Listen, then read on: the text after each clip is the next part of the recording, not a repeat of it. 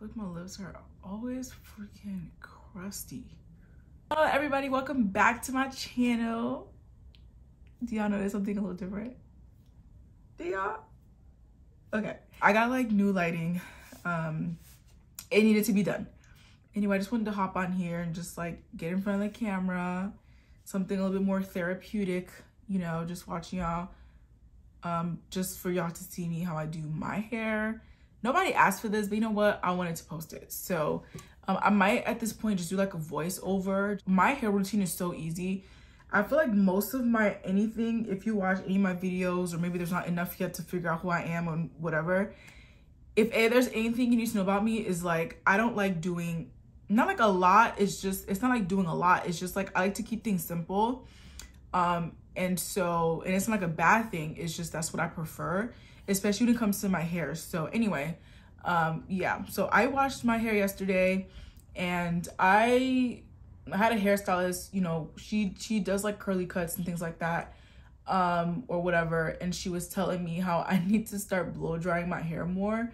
Meaning like if I wet my hair, cause my main style that I do is wash and goes. Like I get in the shower and I wet my hair and I just use a deep, like a leave-in conditioner and detangle and I'll shake my hair and I'll call it a day. Um, but I was thinking about, you know, I have a blow dryer, but I just never really use it. So I tend to use this head. I tend to use this head for like drying my hair a little bit, just 80%. Um, a lot of people and scientists say that too, like it's best to blow dry a little bit and not walk around with wet hair. I feel like that might change for me in the summertime. I'm sorry, but when it's like 99 degrees outside in New York City and I wet my hair, when that breeze hit, which is very rare when it's nine degrees here in the city, it just feels so good. So yeah, like scientifically, like I understand, but at the same time, I'm like, maybe not when it's 100 degrees outside in New York City. And I know it's probably gonna reach like 103 degrees. I already see it coming. I already do, I already do. So it's a Friday night, you know, I have therapy next and I'm just, and I'm wearing my leggings and this comfy sweater and I'm just gonna be I washed my hair, but I took a shower today and I wet my hair again. Um, I know I wasn't supposed to let it dry by itself, but you know what? It is what it is. So I'm just gonna take these braids out. I need to trim so bad. The, the detangling my hair has been taking so long for no reason. So I'm just gonna like take these out. And I used Kinky Curly Knot Today, if that's the correct name. Oh, so moisturized. Oh, do y'all see? Oh, yes. All I need is a trim and it will be good. All I need is a trim. Honestly, I could wear my hair like this. But the thing is like, I, I've been wearing my hair more like braided or something just because I just feel like it's easier. I feel like my hair it's just like it's less likely to tangle up and knot up, especially because I need a trim. So I've just been more prone to not wearing wash and goes, especially because it's also cold outside. But honestly, I think it's because it's just like my hair needs a trim. The last time I got a trim was April of last year. So April 2022, like April 1st, I got a trim.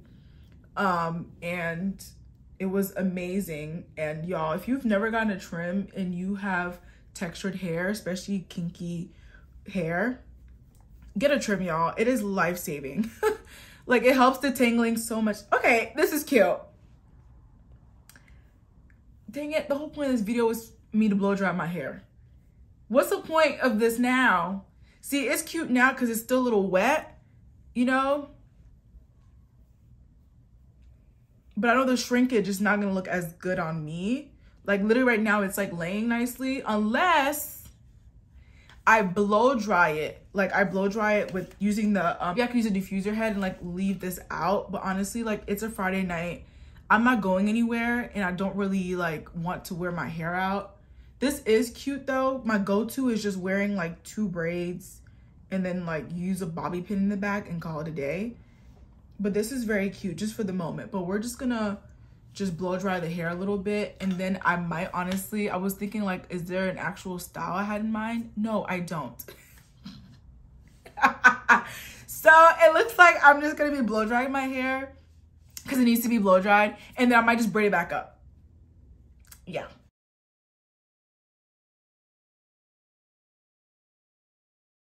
All right, y'all. So I am honestly just, you see that? You see that? Oh my gosh. Yep, it's a knot. Like my hair, like my ends are so knotty, like literally like K N O T T Y. Like I just have so many knots in my hair because I haven't gotten a trim in like almost a year now. So with this one specifically, because of like my split ends, I can't imagine how many split ends I have at this point. Um, and also like my hair literally was pretty detangled, but I feel like for some reason as it is drying up and with all the terrible ends, it's just not doing so well. So I honestly wasn't too focused on getting that super blown out look. I don't really focus too much on that. Um, but then clearly here I am just like brushing and the head came off. Like literally y'all, this blow dryer is so dramatic. It was even that crazy. Like my hair was not even that super like, you know, I don't know. Like it just it wasn't even that hard to detangle. But the head just kept on coming off and I think for some reason I th- I could I think like the heat just like over time Okay, Brenda. Okay. Yeah, don't do that. But anyway, yeah, I'm just like at this point using my hands and just stretching it and just making sure that my roots are dry, which is my main concern. Um, and just making my hair stretch, but not like super stretched, like super blown um, out, because I don't really care too much for that. Okay. Since I will be so... putting it back in like braids. Maybe this could be like my thumbnail. Okay, this is a bit much. Now my hair is dry and now I can go back to my little cornrows, whatever, those braids that I had in peace with my, anyway, my hair is detangled. I need to trim really badly. That's just something that I need to find time and money to do because the way these prices are, um, I literally went to, um, I'm blanking out on this like guy's name, but y'all definitely might have heard of him. Um, but he is like, I mean, literally an artist, like when it comes to curly hair, textured hair, um, literally all of that. Any texture, like he's like, I'm blanking on his name, but he has a salon here in New York. And I like went to him for the first time in April. And it was expensive. I'm mean, just for transparency, like it was a $200 haircut. Um, but you would get to walk out with like a curly style or like a straight style. So I haven't really had my hair straightened since like I would say middle school.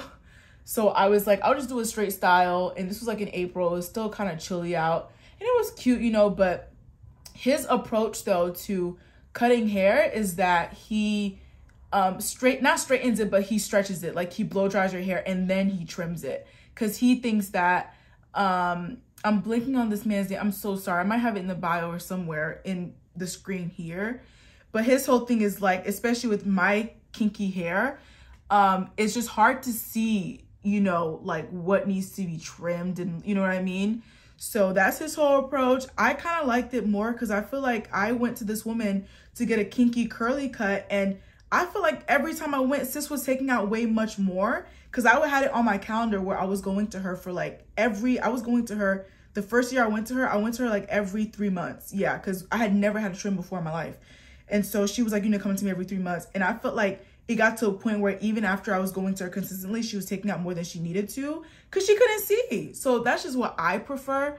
And so I think that, you know, Dickey, Dickey, I feel like, you know, um, Dickey from Hair Rules Salon, he was able to like see exactly what needed to be trimmed. And even according to him, which is kind of iffy because when you keep going, you know, one artist will say something else, but I told him about the approach, you know, he, he doesn't like the kinky curly cut idea. He thinks that, you know, he thinks is he prefers to like, you know, stretch the hair or, you know, straighten it or whatever. And then you can kind of see.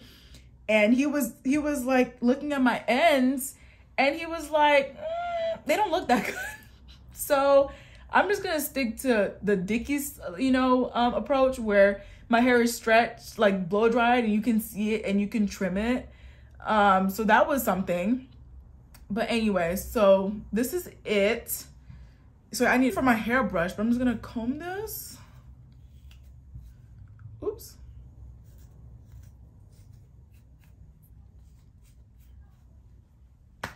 I think this is cute. I don't know. I'm like, it's not like the neatest braids, but it's just, I think it looks cute and elegant.